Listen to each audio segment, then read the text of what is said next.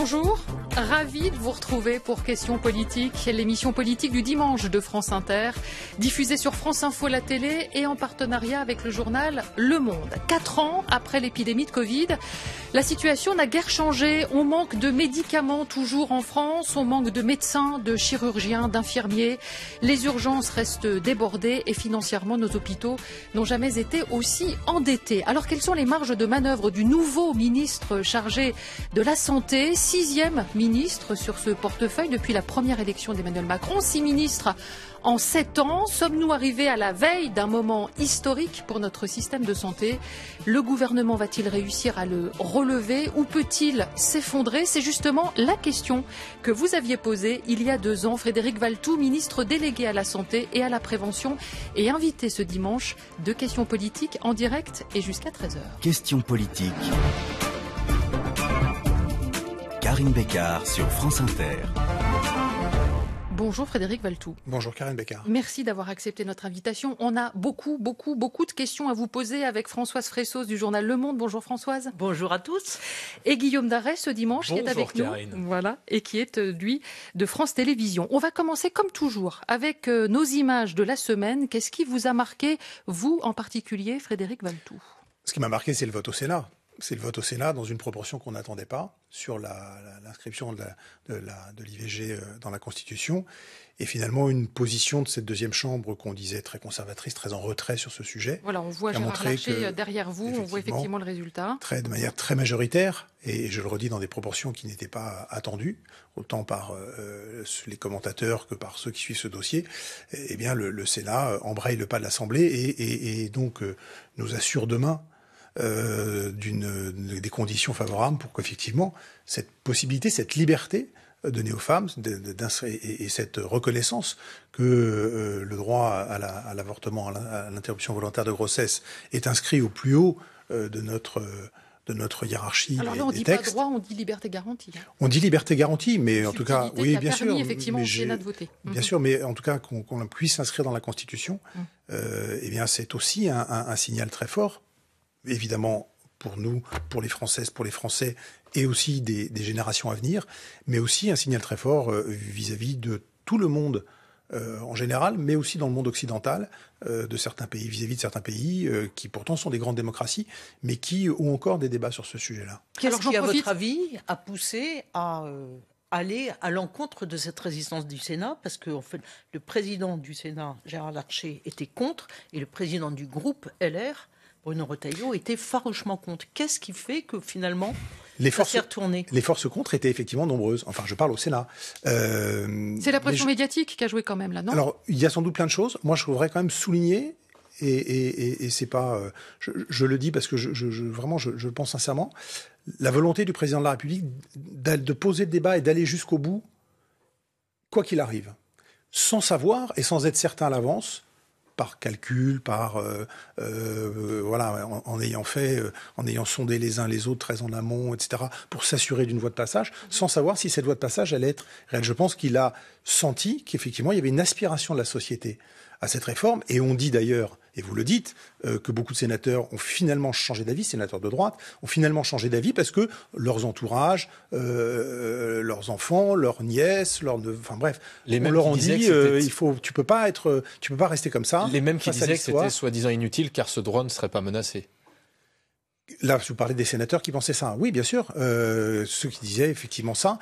Et puis, on, a, moi, j'ai pas suivi les, débats au Sénat, je les ai suivis à, à l'Assemblée, mais on a quand même perçu à l'Assemblée chez certains, et on l'a vu pendant les, débats, qu'il y avait quand même encore, même euh, euh, si chez nous euh, personne n'a ouvertement contesté cela, mais il y a toujours des, des réticences. Non, mais attendez, il y a des résistances, il y a aussi des, interrogations, des réticences si vous voulez, il y a aussi des interrogations, c'est-à-dire que c'est bien beau de constitutionnaliser, ce sera officiellement fait demain, hein, puisque les sénateurs et les députés se réunissent en congrès à Versailles.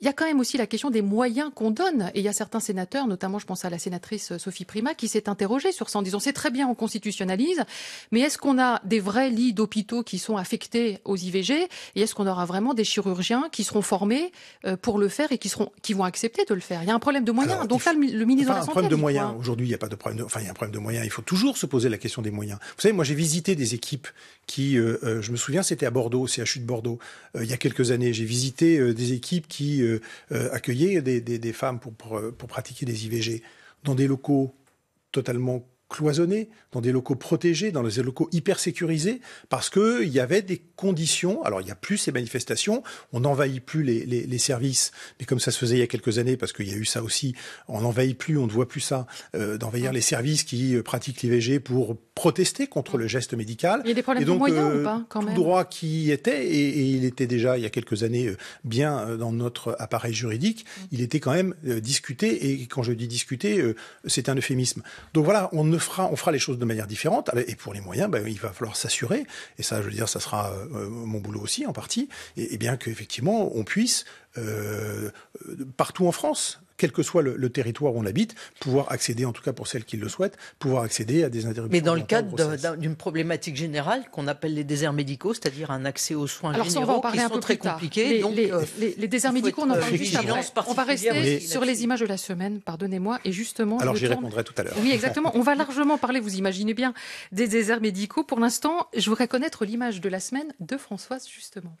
Alors moi, j'ai retenu l'image de Marine Le Pen au Salon de l'Agriculture parce Mhm. que je trouve que c'est assez symptomatique. Ça, c'est l'image que le Rassemblement national, depuis deux ans, essaye de renvoyer à l'opinion publique. Alors, qu'est-ce qu'on voit? Hum. euh, festif, euh, riant, souriant, conquérant.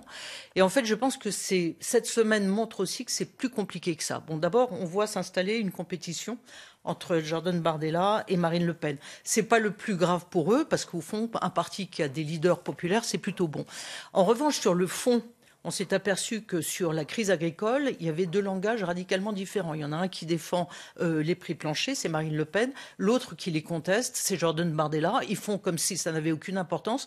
Mais en fait, plus on avance et plus on s'aperçoit que le Rassemblement national arrive à se mettre au niveau pour récupérer toutes les colères. Mais quand on lui demande d'élaborer une proposition cohérente, c'est toujours difficile. Difficile. Et puis cette semaine, c'est aussi le débat sur l'Ukraine, le débat sur le soutien à l'Ukraine et notre position par rapport à la Russie, qui a été relancé par euh, Emmanuel Macron. Alors, euh, Marine Le Pen pensait en faire un tout en disant le président il va en guerre, euh, voilà. Et en fait, en retour, elle a eu une attaque de Gabriel Attal, la renvoyant sur l'ambiguïté du RN par rapport à son soutien à l'Ukraine, la proximité passée avec Vladimir Poutine, qu'elle disait admirer, le prêt russe qu'avait reçu à un moment le Rassemblement national. Et en fait, on s'aperçoit que ce parti qui veut rassurer les Français l'est très peu parce que son projet de déstructuration de l'Union européenne colle totalement avec la volonté de Poutine de faire en sorte d'avoir en face de lui une Union européenne en miettes. Donc, euh, premiers avertissements pour le Rassemblement national, c'est pas aussi simple qu'il le croit. Alors, transition toute trouvée, on parlait de l'Ukraine. Vous vouliez absolument parler de l'Ukraine, Guillaume euh, Darret. Non, moi, ce qui m'a marqué, c'est cette Oui, photo qu'on va photo, découvrir, qui est celle d'Emmanuel Macron à l'issue de cette conférence de soutien à l'Ukraine. Et donc de cette déclaration, effectivement, qui a fait euh, non seulement le tour de la France, mais le tour du monde. Parce Voilà, que quand vous regardiez le les, télés internationales le lendemain, CNN, la BBC euh, au Royaume-Uni, tout le monde parlait de ces propos du chef de l'État, qui a donc dit qu'il y avait, je le cite, pas de consensus aujourd'hui pour envoyer de manière officielle, assumer et endosser des troupes au sol, mais rien ne doit être exclu. Nous ferons tout ce qu'il faut pour que la Russie ne puisse pas gagner. Alors on voit que là aussi, ça illustre un petit peu la, la stratégie compliquée du chef de l'État qui joue sur deux plans, parce qu'il y a évidemment un plan de politique internationale, avec des, des propos qui sont posés, qui sont pesés, a-t-il dit même euh, quelques jours plus tard quand il a été interrogé en marge de l'inauguration du, du village olympique. Une volonté de faire passer un message à la Russie de dire, à un moment où l'Ukraine est en difficulté, l'Europe, la France continuent de soutenir Mhm. euh, l'Ukraine, de se poser aussi en leader international, mais on a pu voir qu'il faut quand même faire attention à pas aller trop vite parce que à peine ces mots étaient-ils prononcés que certains leaders, comme le néerlandais Mark Rutte, en sortant dans la cour de l'Élysée, a dit Ah non, mais on n'a jamais parlé de ces questions-là. Euh, à peine 12 heures après, les États-Unis, euh, l'Italie, l'Espagne ont dit Il n'est pas question d'envoyer des troupes au sol. Donc on voit que ça incite effectivement à la prudence, mais on voit aussi que cette question de l'Ukraine est non seulement quelque chose qui va être dans le débat des européennes dans chacun des pays, mais aussi au niveau français, parce qu'effectivement, ces mots, ça avait aussi une vocation, ça avait une vocation de cliver à nouveau le débat français. D'un côté, la majorité, De l'autre, effectivement, le Rassemblement national avec des mots extrêmement forts, plus particulièrement ceux de Gabriel Attal, hein, puisqu'à l'Assemblée nationale, il a dit quelque chose de très puissant en prenant à Marine Le Pen en disant si vous aviez été élu, on ne serait pas en train de fournir des armes aux Ukrainiens, on serait en train, je cite, d'en fournir aux Russes pour écraser les Ukrainiens. On le voit, l'Ukraine plus que jamais au cœur de cette campagne européenne. La Russie aujourd'hui nous attaque. Ouais, voilà. Alors, sur le volet informationnel, sur le volet informatique. On est dans une situation de fragilité avec la préparation des élections européennes, avec la préparation des Jeux olympiques, et la France ne permettra pas Ça, c'est la attaque grande crainte. servi- nos services publics, nos transports, nos hôpitaux. Et imaginez deux minutes que nous n'ayons plus d'hôpitaux euh, dans la région parisienne, que les transports s'arrêtent à cause des attaques informatiques euh, de la Russie. Alors, vous avez reconnu Stéphane Séjourné, le ministre des Affaires étrangères. C'était ouais. vendredi, invité de la matinale de France Inter. Je voudrais votre réaction euh, aux propos de Stéphane Séjourné. Euh, nos hôpitaux, par le passé, d'un passé très récent, ont été effectivement ciblés, ont été parfois cyberattaqués. Est-ce que vous êtes inquiet aujourd'hui, Frédéric Valtou Alors ça fait quelques années qu'il y a une vigilance très forte sur effectivement euh, euh, la sécurité informatique des hôpitaux, la sécurité de leur système d'information, euh, parce que on le sait depuis des années, et ça date pas des Mmh. tensions euh, Mmh. avec l'Ukraine. les hôpitaux sont une cible parce que les données que- qu'elles qu'elles- qu'elles possèdent sont des données euh, je veux dire, sensibles. Euh, Et puis c'est des dossiers de patients, donc c'est des dossiers Mais là, personnels, c'est des traitements, c'est est particulièrement grave ou pas? Là, ah bah, maintenant, et donc, euh, comme 2024. toute, comme toute cible potentielle, évidemment, dans le contexte actuel, elle- elle- elle- la tension est, est redoublée. Donc, effectivement, les moyens sont mis. euh, et il y a une montée en puissance des moyens pour aider les hôpitaux euh, à, dans leur, dans leur, protection informatique, hein, dans la sécurité de leur système d'information qui est Il y a, voilà, il y a un certain nombre d'audits qui sont faits dans les établissements. Enfin, il y a une attention, en tout cas, qui a été, qui est pas, qui est, qui est vraiment renouvelée, euh, Mm. plus pressante peut-être aujourd'hui euh, qu'hier, qui n'est pas, qui est pas nouvelle, mais en tout cas plus pressante aujourd'hui qu'hier, compte tenu de ce, ce climat international. Mais quelles sont bien- les mesures très concrètes qui sont prises dans Bah, ce secteur-là? Est-ce que vous travaillez, par exemple, je ne sais pas, avec les services Il y a une de agence nationale. Alors, euh, il y a une agence nationale de la sécurité informatique, euh, la- l'ANSI, qui effectivement accompagne les hôpitaux, euh, veille à côté d'eux à la qualité de leur euh, système d'information, veille à le relever le niveau lorsque c'est nécessaire, détecte euh, les, les- les failles éventuelles. Donc, on est sur des sujets très techniques, mais qui sont pris en compte. Euh, il, y a, euh, il y a un certain nombre de moyens qui sont donnés, euh, qui vont monter en puissance jusqu'au dans les prochaines années pour effectivement Ah, dans les prochaines années, les hôpitaux. donc pas là Non, non, aujourd'hui, et Ah. ça a déjà démarré, mais Mm. ça va continuer à monter en puissance pour effectivement les, les accompagner. Voilà, mais ça n'empêche effectivement qu'il y a encore, il y a encore de, de- de- des désordres. On a vu l'hôpital d'Armentières il y a quelques, il y a une- trois semaines, qui a été euh, attaqué. Euh, Il y en a combien des attaques, des cyberattaques contre les hôpitaux chaque année je, en moyenne je n'ai pas le chiffre en tête. Je n'ai pas le chiffre en tête. Mais là, vous êtes que- particulièrement inquiet ou pas? Parce que j'arrive pas à sentir, à comprendre. Ben, on est inquiet. On n'a pas, il n'y a pas de, il a pas d'attaque massive. On ne détecte pas d'attaque massive. Hum. Euh, il y a des attaques régulières. Il faut juste faire attention qu'elles ne s'intensifient pas compte tenu du contexte international. Donc c'est une vigilance qui est ancienne, mais qui est maintenant un peu plus, qui est redoublée compte tenu de la situation. Alors, on parle de l'hôpital et vous avez forcément vu, Frédéric Valtou, ce qui s'est passé le week-end dernier à Aix-en-Provence? On l'a appris seulement euh, hier. euh, cette euh, vieille dame de 85 ans qui a échappé à la surveillance du personnel soignant. Elle a été retrouvée deux jours après dans une benne à ordures. Euh, une enquête interne a été ouverte par l'hôpital d'Aix-en-Provence. L'hôpital a perdu la surveillance de cette dame au moment où les urgences ont été euh, engorgées. On va présenter les choses comme ça. Euh, ce que j'aimerais savoir, c'est comment est-ce que vous réagissez, vous, aujourd'hui, nouveau ministre de la Santé, face à ce drame? Tout décès à l'hôpital est toujours un drame, mais tout décès aux urgences, c'est évidemment, c'est encore plus fort. C'est-à-dire, c'est, vraiment quelque chose de terrible parce qu'effectivement, les urgences, c'est un endroit où on est pris en charge, où effectivement, euh, euh, tous les moyens sont mis pour euh, euh, accompagner la personne dans sa, dans, dans, dans, dans son, dans son, son problème euh, immédiat. Là, il y a eu un Euh, afflux et puis on a perdu cette Voilà, donc après, vous savez, enfin, bon, je- c'est terrible. Et moi, je pense à la famille, je pense euh, effectivement aux proches de, cette personne. Une enquête, j'ai demandé à ce qu'une enquête administrative soit déjà diligentée pour bien comprendre sur le plan administratif si effectivement euh, il y avait des désordres dans l'organisation du service à ce moment-là, s'il y a eu des défauts, euh, il y a eu un défaut de surveillance, mais de quelle nature il était. Et c'est vrai que c'est arrivé de ce que je sais, mais je ne sais que des, je n'ai que des bribes d'informations. C'est arrivé à un moment où il y avait une surcharge de travail et notamment la- l'arrivée de deux ou trois patients qui ont dû être ce qu'on a appelé en de déchocage. Donc là, c'est une prise en charge vraiment très immédiate, liée souvent parfois à des problèmes cardiaques, par exemple, qui nécessitent qu'il y ait une mobilisation pendant quelques minutes de plus de personnes autour d'un patient, parce que là, l'urgence, c'est une urgence euh, vitale, on va dire, immédiate, et que dans l'interstice de ce temps, il semblerait, mais je suis vraiment très prudent, que euh, effectivement la personne se soit euh, soit partie et, et, et qu'elle se soit euh, voilà qu'elle ait, ait, trouvé un chemin jusqu'à ce local euh, qui était qui était un local visiblement très en recul puisqu'il y a eu plusieurs jours de recherche ou plusieurs heures de recherche avant qu'on retrouve euh, effectivement la personne malheureusement décédée. Mmh, Donc c'est un drame terrible.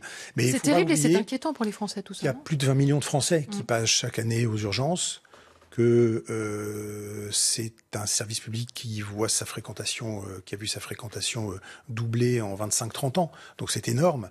Euh, et et, qu'aujourd'hui, les urgences reçoivent euh, 24 heures sur 24, 7 jours sur 7, euh, des patients de toute nature. Certains, peut-être, n'auraient pas besoin d'aller aux, urgences s'ils trouvaient un médecin en ville. D'autres, évidemment, sont là parce qu'il y a nécessité et urgence.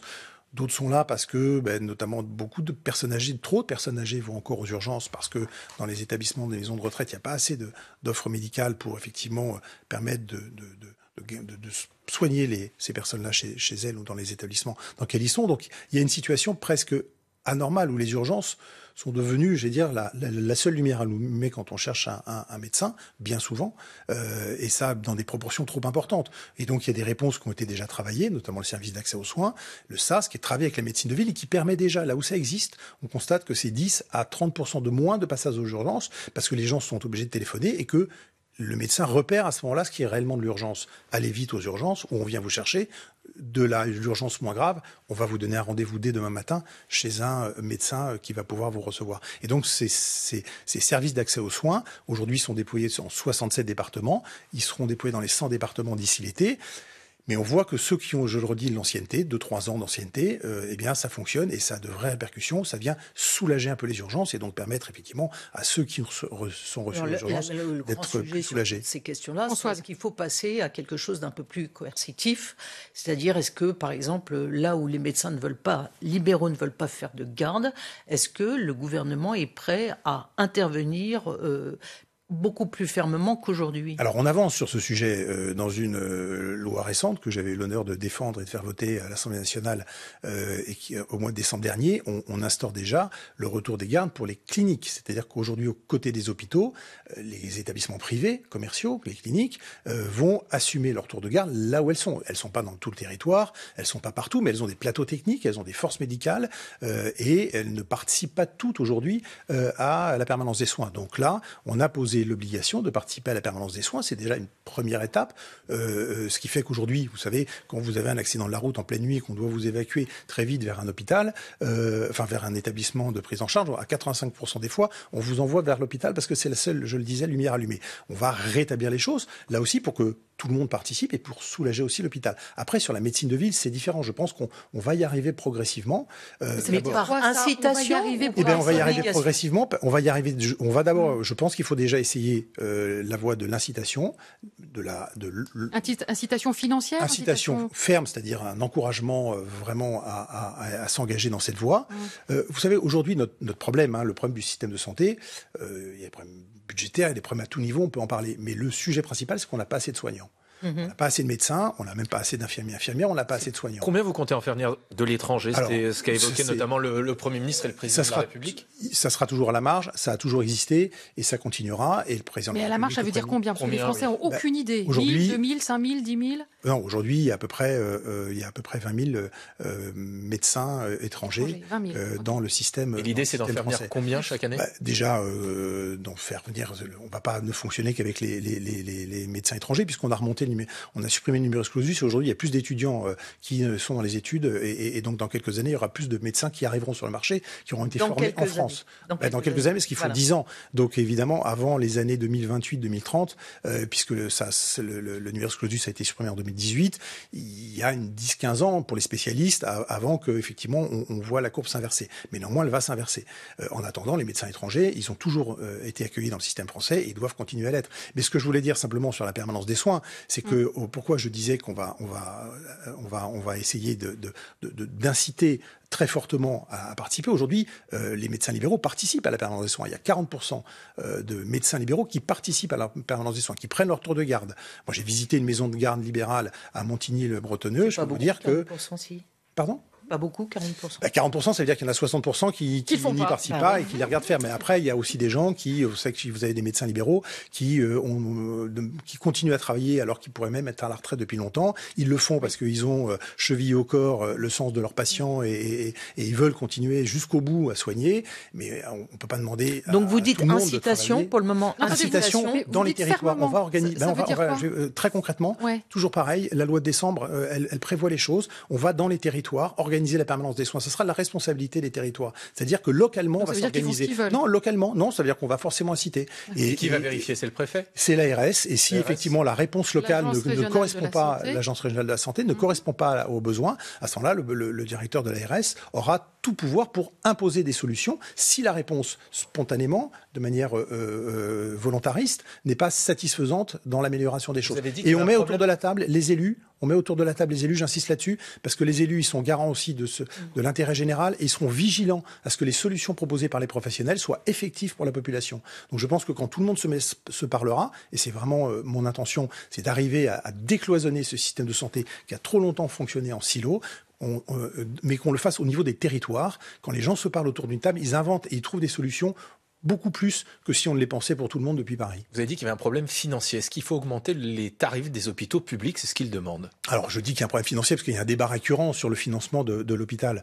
Euh, Enfin, je, je attendez, il n'y a pas un débat récurrent. Il y a quand même un déficit qui est Ah, moi, important. euh, 1,6 milliard en 2023 de déficit. J'ai été hôpitaux. 11 ans Qui est à la tête de la Fédération de hospitalière France. Je peux vous de dire que le sujet financier, il, a- il est, il est- il est régulier, mais c'est normal. Mais là, on dit qu'il est Euh, on historique, trouve- donc c'est faux On ou pas? trouve, pardon? Il est, là, on dit que c'est le pire du pire, que ça n'a jamais existé sous la Ve République. C'est vrai ou pas? C'est la Le- situation. Le, le- le déficit, Ouais. le déficit est important, l'endettement a diminué, euh, le déficit effectivement est important, mais on, on doit faire des arbitrages dans les prochains jours sur effectivement la nature de l'accompagnement financier, ce qu'on appelle la campagne tarifaire, mais la nature de l'accompagnement financier pour les établissements publics et privés. euh, et, et donc, on, on- Donc on vous ne vous engagez pas à Augmenter les à tarifs, la- juste Oui, oui une ou non chose. Ben, les tarifs, ils augmenteront. Après, c'est une question de, de volume. Certains voudraient qu'ils augmentent beaucoup, d'autres voudraient les Non, voir attendez, augmenter moins. c'est très clair. Ils veulent que ça augmente de 10%. Vous dites oui ou vous dites Non, je, ça n'ira sans doute pas jusque-là, parce que euh, aujourd'hui, le, le- le contexte financier le permet pas. Mais comme c'est un mode de calcul très compliqué qui fait qu'on joue à la fois sur les tarifs et à la fois sur les volumes, je ne vais pas rentrer dans les détails, mais si vous voulez, les tarifs ne sont pas tout.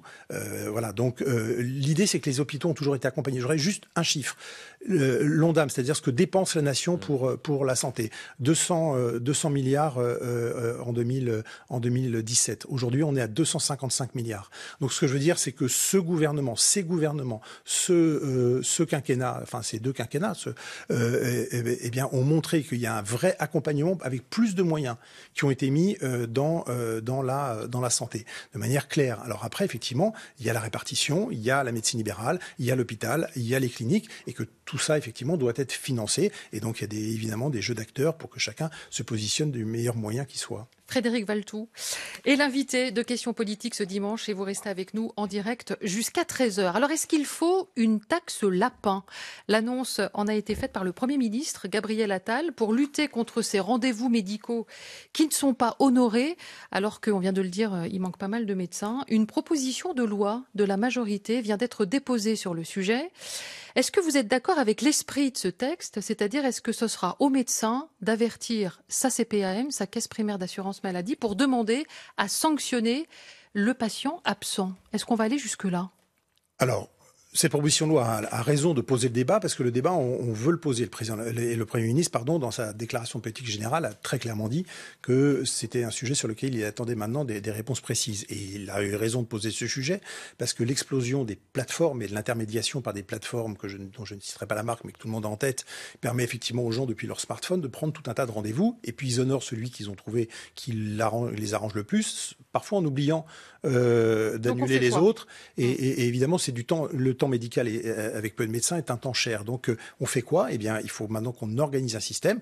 La proposition de loi euh, a le mérite de poser une proposition. Vous y avez contribué Vous y avez participé Non, j'ai pas contribué. Bah non, c'est une proposition de, de, Vous êtes d'accord avec cette parlementaire. proposition bah, je dis, elle a le mérite de poser le, le, sujet. Il faut maintenant qu'on en discute avec les syndicats de médecins, avec l'assurance maladie, avec les plateformes elles-mêmes, parce qu'elles ont aussi peut-être sur le plan technique et numérique la possibilité, elles, euh, de pouvoir aussi, euh, euh, entre guillemets, marquer le fait qu'on ne doit pas poser des, des, lapins à des médecins. Mais ça veut dire que vous êtes d'accord avec l'idée que le médecin puisse dénoncer le, le bah, patient Le dénoncer, en tout cas, il signale que le rendez-vous qu'il avait n'a pas été n'a pas été n'a pas été fait. Maintenant, c'est un système un peu compliqué à organiser parce que dit comme ça, c'est vrai qu'on peut se dire il y a des gens qui abusent et qu'au bout d'un moment, ils doivent comprendre qu'un rendez-vous chez le médecin, il est à honorer. Mhm. On peut avoir au dernier moment tous des problèmes, mais à ce moment-là, on, s'excuse, etc. Mais il ne faut pas que ce soit. Et aujourd'hui, ça prend des proportions très importantes. Donc, euh, effectivement, il faut qu'on trouve un système équilibré qui permette de ne pas rejeter la charge du boulot sur le médecin, parce qu'on ne peut pas lui dire d'un côté, on va tout faire pour vous libérer du temps médical,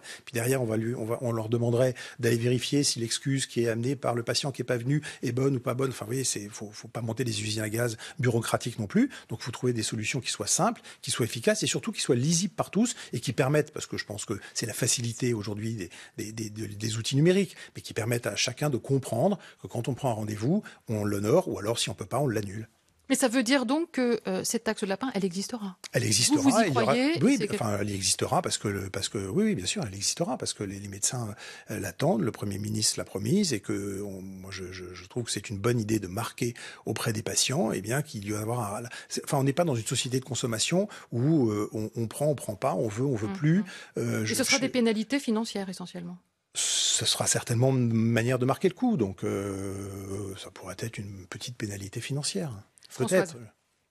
On sent que du côté de Bercy, il y a une quête assez euh, vive d'économie budgétaire, euh, ne serait-ce que parce que la France a un endettement assez faramineux, de plus de 100% de son, sa richesse nationale, et que euh, voilà, le, le, système social est un peu sous tension. On a vu déjà les franchises qui, qui doublaient, Qu'est-ce qu'il faut faire maintenant pour euh, responsabiliser davantage Et faut-il d'abord le responsabiliser davantage le système de soins, les patients euh, Comment on peut y arriver? Je pense que d'abord, il n'y a pas plus les uns ou les autres à responsabiliser. Il euh, faut faire comprendre aux, patients que voilà, si le soin est gratuit en France, et, là aussi, il hein, faut rappeler qu'on est un pays, la France, qui est le plus généreux, et que le montant euh, je dire, des, aides prises en charge par l'assurance maladie, le niveau de la prise en charge par l'assurance maladie n'a fait qu'augmenter ces dernières années. On rembourse mieux et on accompagne mieux aujourd'hui les Français dans leur maladie qu'on ne le faisait il y a quelques années.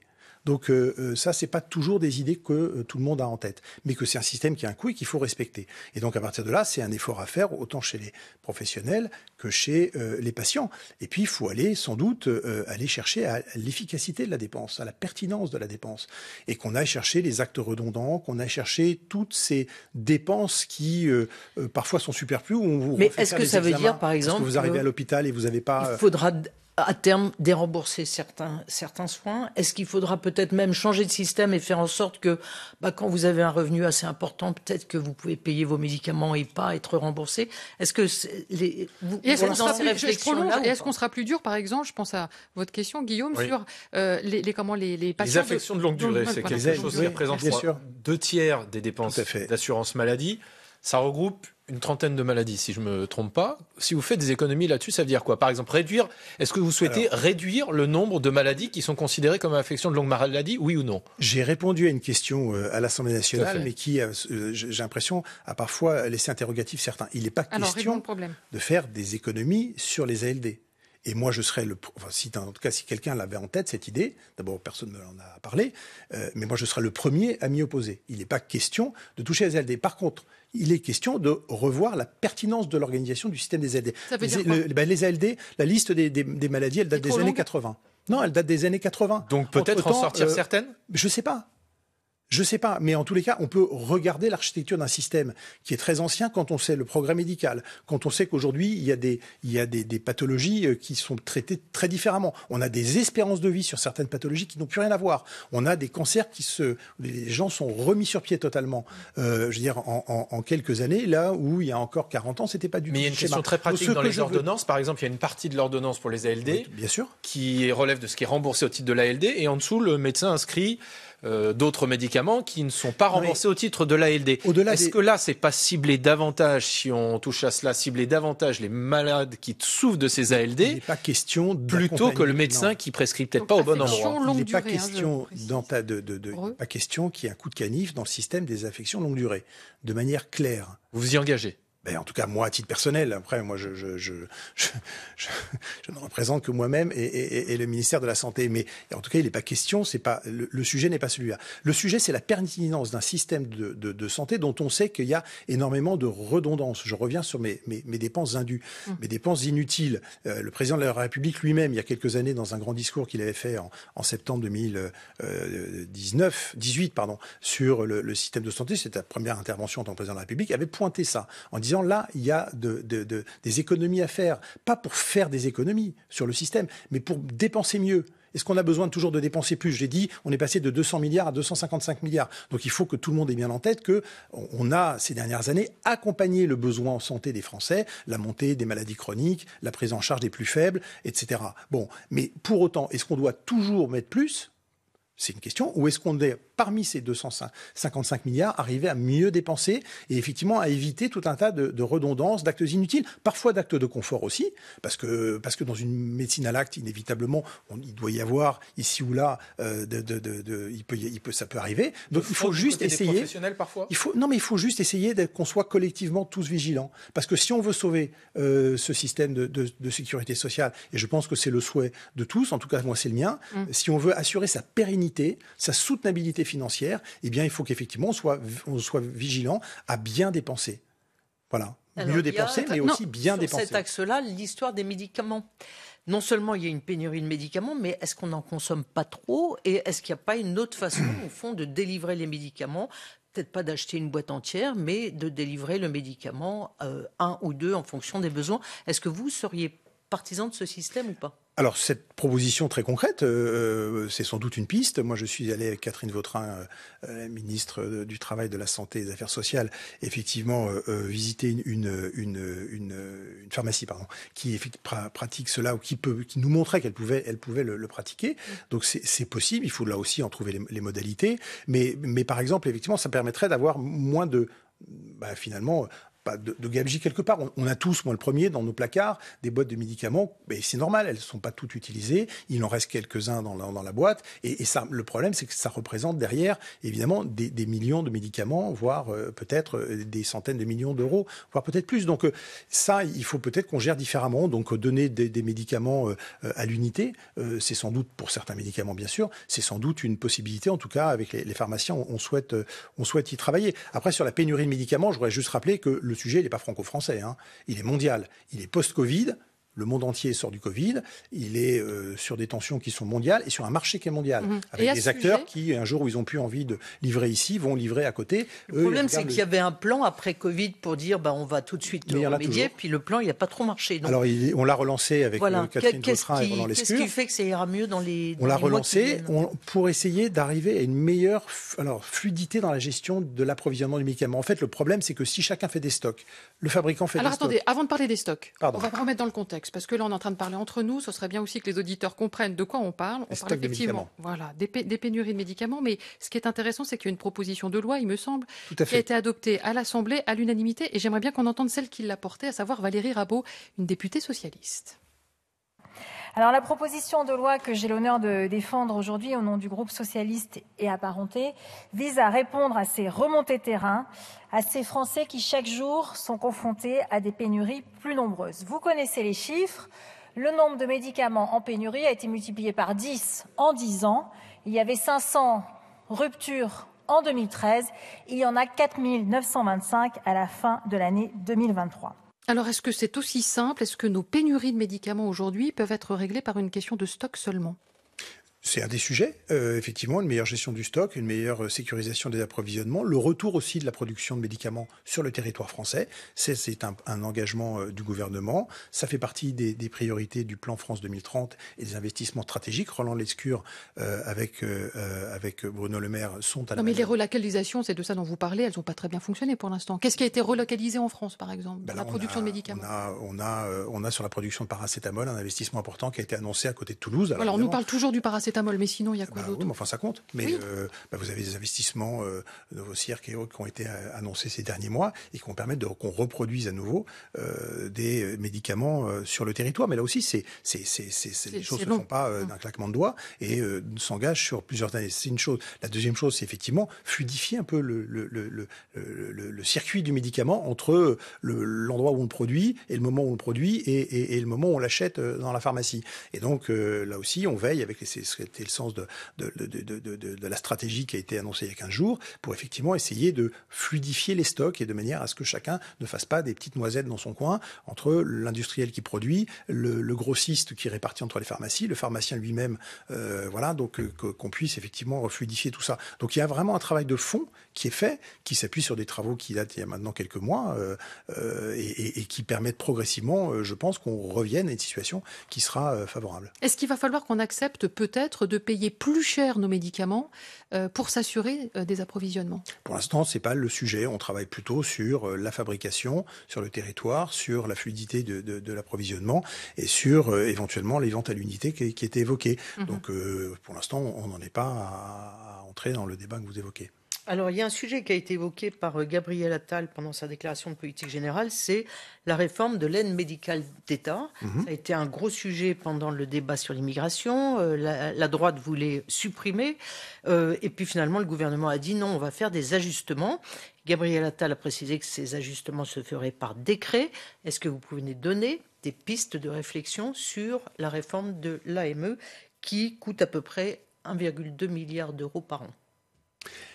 Qui coûte 1,2 milliard d'euros par an, euh, mais qui permet aujourd'hui, un, de remplir la mission de soins euh, de tous ceux qui euh, sont sur le sol français, et qui n'est pas qu'une mission, j'allais dire, portée avec humanité, ça serait déjà le cas, ça suffirait comme justificatif, mais c'est surtout aussi que, en termes de santé publique, des gens qui arrivent de continents lointains parfois peuvent être porteurs Oui, ça évite les de épidémies. quoi, maladies hein. qui, euh, de cette manière, sont, sont traitées. Donc, euh, euh, aujourd'hui, effectivement, la réforme, elle est en train d'être euh, ajustée.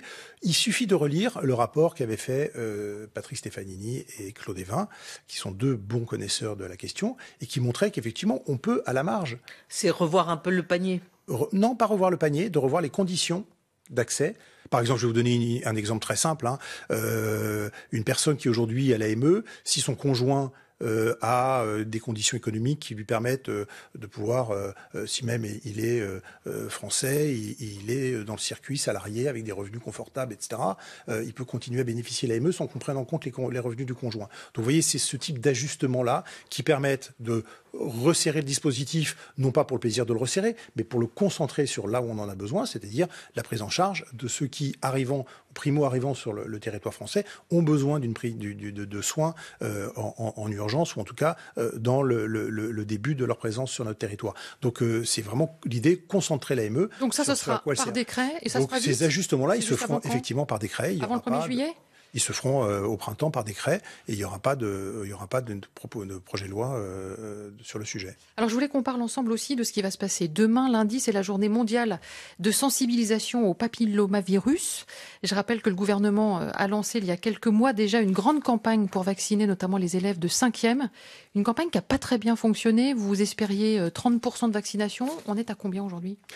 Alors cette campagne, elle n'a pas effectivement donné tout, tout ce qu'on souhaitait, mais on peut l'expliquer. C'est, elle a de- euh, il y a aujourd'hui 117 000 euh, collégiens qui ont été euh, euh, vaccinés, ce qui représente 13 à 15 de la, de la, de- de- du nombre de collégiens euh, qui étaient la cible, c'est-à-dire les élèves Donc de, 13 de à 5e. 15%, vous, vous en espériez 30 On en espérait 30 parce qu'il y a une la expérimentation qui avait été faite dans le Grand Est et pendant deux ans, elle avait montré qu'au terme de deux années, pas la première année, mais à terme de la deuxième année, on était arrivé à ce taux de 30%.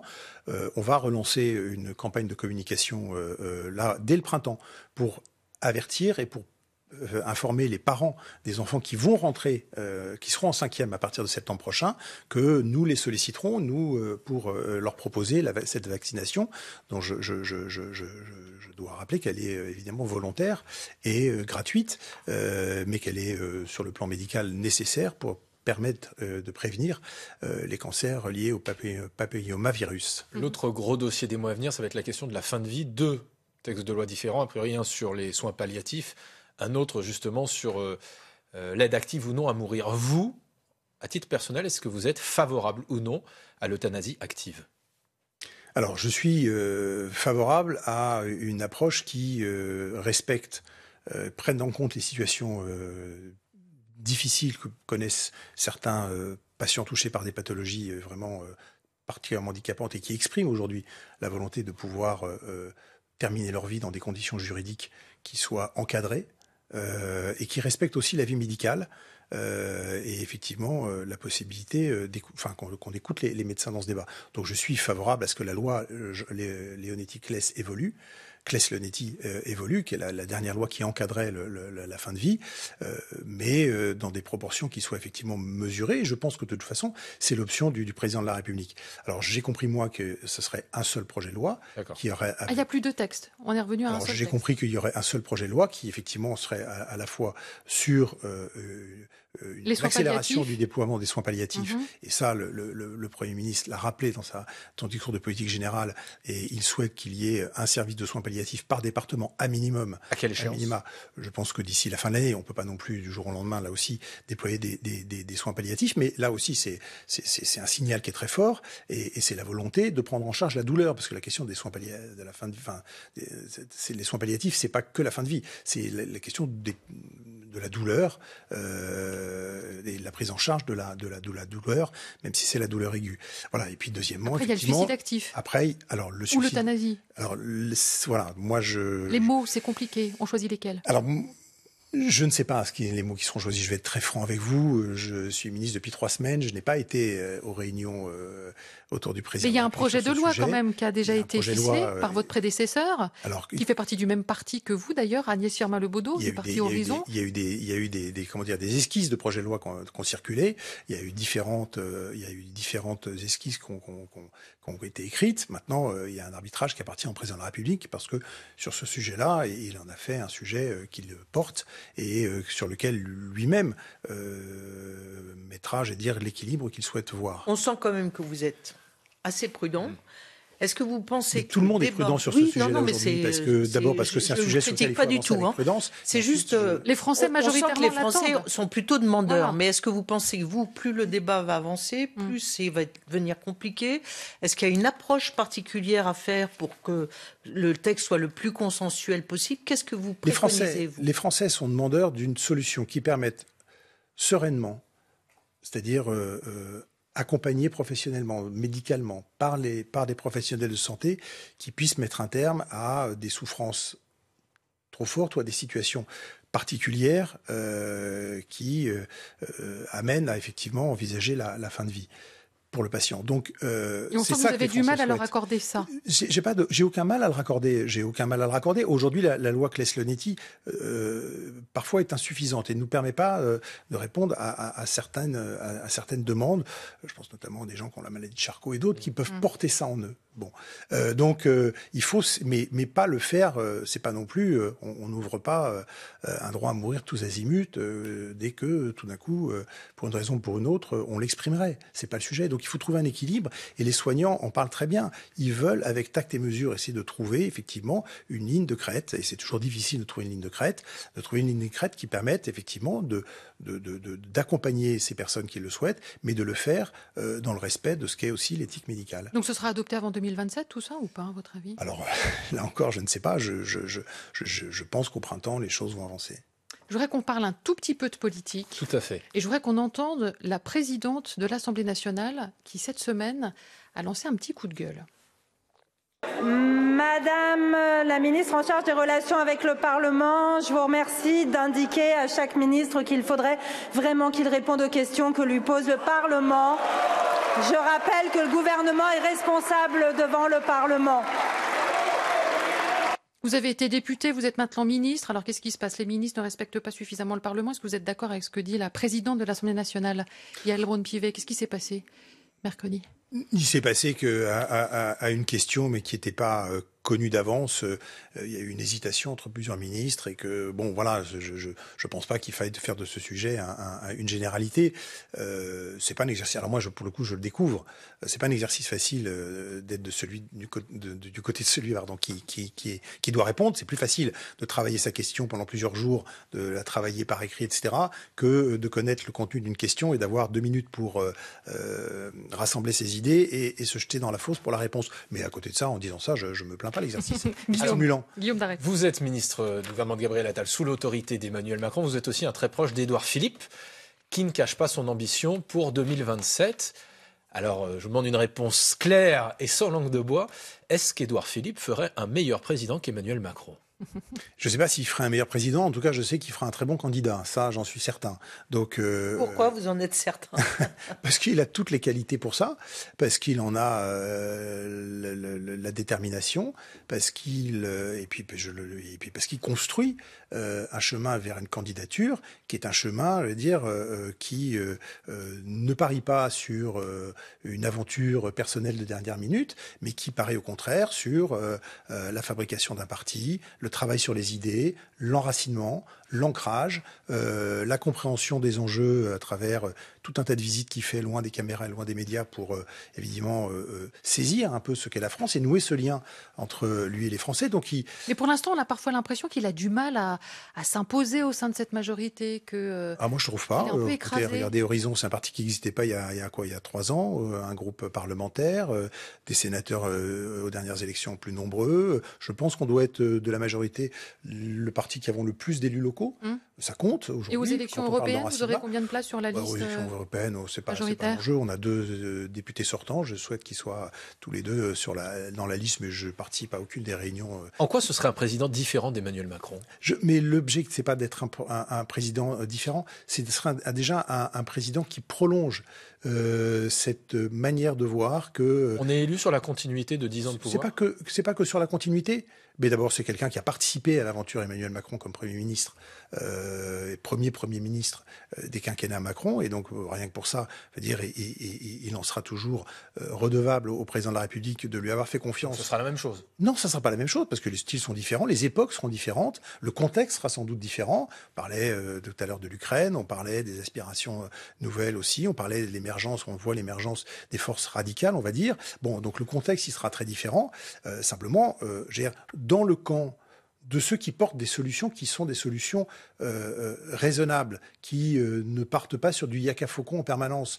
Vous parliez tout à l'heure du Rassemblement national et, de ce que le Rassemblement national dit, dit plus sur le rapport à l'agriculture, etc., son positionnement vis-à-vis de l'Ukraine. Tout ça, évidemment, n'est pas très enraciné, n'est pas très, pas très incarné. Et donc, Édouard Philippe, lui, il incarne ça. Il incarne effectivement que dans le camp des pro-européens, du camp des défenseurs de l'Europe, des défenseurs d'une démocratie qui respecte tout le monde, une défenseur de solutions qui ne sont pas euh, des solutions yaka faucon, eh bien, euh, il incarne celui qui peut effectivement Alors, la campagne euh, des européennes est un peu compliquée pour le camp majoritaire. Est-ce qu'Edouard Philippe va y prendre toute sa part ou se mettre plutôt en retrait en se disant il y a peut-être que des coups à prendre? Alors, c'est pas, c'est pas là, c'est mal connaître. Oui, c'est très rapidement. C'est un, c'est mal, c'est mal connaître Edouard Philippe de penser qu'il se mettrait, qu'il se préserverait. Deux, il sera très présent dans la campagne des européennes. Il l'a été, rappelez-vous, au moment des des législatives. C'est lui qui allait soutenir le plus grand nombre de candidats et je suis bien placé pour le savoir. Donc euh, il continuera à s'investir très fortement et, surtout sur l'Europe, qui est une question, vous l'avez rappelé tout à l'heure, mais qui est une question vraiment majeure de ce qu'est aujourd'hui notre démocratie, de ce qu'est notre, notre, le rapport à notre mmh. continent et notre conception de la société. Merci Frédéric Valtou. Vous restez avec nous puisque nous recevons notre second invité pour le livre de la semaine. France Inter. Question politique Karine Bécard. Bonjour Pascal Perrineau. Bonjour. On est ravi de vous recevoir sur le plateau de questions politiques. Je rappelle que vous êtes politologue, professeur émérite des universités de Sciences Po et que vous avez dirigé pendant près d'une vingtaine d'années son centre de recherche politique, à savoir le, le CEVIPOF. Vous publiez donc mercredi chez Odile Jacob un livre très personnel euh, le goût de la politique, c'est le titre, c'est un très joli titre dans lequel vous nous racontez, Pascal Perrineau, euh, vous vous racontez et vous nous racontez ce que vous aimez dans cette politique, vous nous racontez cet itinéraire, puisque votre itinéraire et la politique ont toujours été intimement liés, et cela fait de vous parce que vous êtes un observateur passionné de la Ve République. Elle vous vient d'où cette passion de la politique? Euh, ce goût de la politique, j'ai quand même le sentiment, en lisant votre livre, que votre père y est pour quelque chose. Oui, mon père et ma mère de très loin. Ça a commencé à 8 ans. J'ai 8 ans en 1958, vous voyez, la date est parfaite, c'est le début de la Ve République, et donc j'ai derrière moi, c'est l'avantage de l'âge. J'ai 66 ans de 5e République et je me suis efforcé dans ce livre de parler d'abord à la première personne, Mhm. m'engager, et puis euh, de tisser euh, à la fois l'histoire personnelle et l'histoire collective. Parce que l'histoire personnelle est venue euh, m'interpeller très tôt. Mon père, en effet, était de sensibilité gaulliste et m'avait emmené en 1959, donc j'avais 9 ans, accueillir le général de Gaulle euh, à Tours. Et il avait serré la main de mon père, et je me souviendrai toujours, moi j'étais un bambin tout petit, euh, de cette espèce d'immense bras du général au-dessus de ma tête. Et je dis dans le livre, en effet, c'est le seul jour de ma vie où j'ai vraiment senti ce que c'était qu'une grande personne. Est-ce que parfois cette politique vous désole malgré tout, ou vous déçoit? Ah ben bien sûr, il y a des moments où la politique peut être décevante. D'ailleurs, on est dans un cycle où les Français sont déçus euh, de la politique. Mais attention à ce que cette déception de la politique ne tourne pas à la haine de la politique. Parce que lorsque la haine de la politique sera installée, euh, ce sera la porte ouverte véritablement pour la sortie de la démocratie. Je ne suis pas le premier à le dire. La démocratie, telle qu'on la connaît, pluraliste, libérale, n'est pas de toute éternité. Des régimes autoritaires ou des régimes démagogiques peuvent, euh, aller euh, venir dès demain. en Mm. France. Elle vient d'où cette haine que vous percevez malgré tout Euh, et, et elle vient d'où cette, cette- il vient d'où cet affaiblissement qu'on perçoit aussi chez le personnel politique? Alors, elle vient la, la haine de la politique du fait que euh, la politique pendant, allez, les années 60, 70, on voyait à quoi ça servait très concrètement. Il y avait un taux de croissance impressionnant, c'était les fameuses 30 glorieuses. Et donc, euh, euh, les citoyens se rendaient compte que la politique était efficace dans leur vie quotidienne. Et tout a changé, en fait, il y a longtemps. Au début des années 80, où là, les Français découvrent, après la décennie 70 des chocs pétroliers, euh, une politique qui apparaît impuissante, en particulier sur le grand enjeu de l'heure, qu'était le chômage. Un chômage qui devenait un chômage de masse structurel, d'ailleurs dont nous ne sommes pas complètement sortis. hein. le chômage remonte. hein. Euh, donc euh, euh, là, les Français, peu à peu, sont installés dans l'idée que la politique était impuissante. Alors, dans un premier temps, ils ont pris de la distance, et dans un deuxième temps, ils sont revenus sur la scène publique, mais pour en découdre, d'où le succès des forces radicales, des forces populistes. Alors on a très peu de temps, Guillaume, vous voulez poser une question? Vous avez parlé de la main du général de Gaulle en disant j'ai compris ce que c'était une grande personne. Est-ce que vous en avez croisé d'autres des grandes personnes Ah de- oui, bien sûr, j'ai croisé de nombreuses grandes personnes. Vous avez adoré Chaban-Delmas. Voilà, mes premiers engagements, en effet, je me disais tout de même, bon, j'avais 18 ans, mais 68, je me disais, faut que ça change. On parlait beaucoup au lycée de la nécessité de réformer la société. Et quelque part, le discours de la nouvelle société de Chaban-Delmas, dont la plume était tenue, je rappelle, par Jacques Delors, euh, et Simon Nora euh, m'avait euh, tout jeune euh, énormément euh, séduit. Et je me disais, c'est une bonne manière de faire porter la réforme par le camp de l'ordre. Parce que les Français s'y retrouveront. Il y aura à la fois le mouvement euh, et euh, l'ordre et l'autorité. Euh, et puis après, en effet, quelque peu déçu, Chaban est écrasé hein, lors de la présidentielle de 74. Je me suis tourné vers la social-démocratie. ouais. Et là, j'ai rencontré une grande personne. très connu à l'époque, mais peu connu, euh, qui m'a euh, accueilli dans ce socialisme réformiste, c'était Georges Dayan. Georges Dayan, le sénateur de Paris, euh, qui était un très proche euh, de François Mitterrand. Et là, j'ai découvert euh, euh, les Vous été arcanes son- du Parti Voilà, vous avez été son collaborateur. J'étais son Vous collaborateur. avez failli basculer dans la politique active ou pas ou Oui, jamais oui, oui, j'ai failli basculer, mais comme André Siegfried, le père fondateur de la science politique à Sciences Po, euh, vous savez, euh, qui lui aussi venait d'une famille très politique, il a dit à un moment, au fond, la volupté de comprendre est préférable à l'ivresse de l'action. Je me retrouve tout à fait dans cette sentence. Vous avez été un, un mitterrandiste déçu. Oui. Euh, pour finir, ce que je voudrais savoir, c'est comment est-ce que vous espérez réconcilier la politique et les Français et les citoyens? Alors, je crois que Vous pour redonner... quelques pistes Oui, dans votre pour redonner le goût de la politique. Parce qu'un régime ne peut pas fonctionner avec des citoyens qui n'ont plus le goût de la politique. hein. Mm. Ça, je vais vous dire, ça ne peut pas fonctionner. L'abbé Sieyès, qui était un des pères fondateurs de la démocratie, disait le pouvoir, lui, vient toujours d'en haut. Mais pour qu'il y ait une démocratie, il faut que la confiance vienne d'en bas. Et quand la confiance ne vient plus, eh bien, le système ne marche plus, dysfonctionne. Et je crois qu'il y a, oui, de grands chantiers démocratiques. Il y a des chantiers démocratiques pour aller très vite. Ouais, très vite. Dans la démocratie représentative, je crois qu'il y a nécessité aujourd'hui euh, de rééquilibrer le pouvoir euh, dans le sens d'un régime davantage parlementaire et de déprésidentialiser euh, notre régime. Il y a la démocratie participative et puis il y a la redécouverte aussi de la démocratie référendaire. Merci à tous les deux, c'est passé trop vite. Merci euh, Pascal Perrineau, le goût de la politique donc, qui sort mercredi chez Odile Jacob. Merci infiniment Frédéric Valtou d'être venu euh, sur le plateau de questions politiques. Je vous souhaite une euh, très bonne fin de week-end et je vous dis évidemment à la semaine prochaine.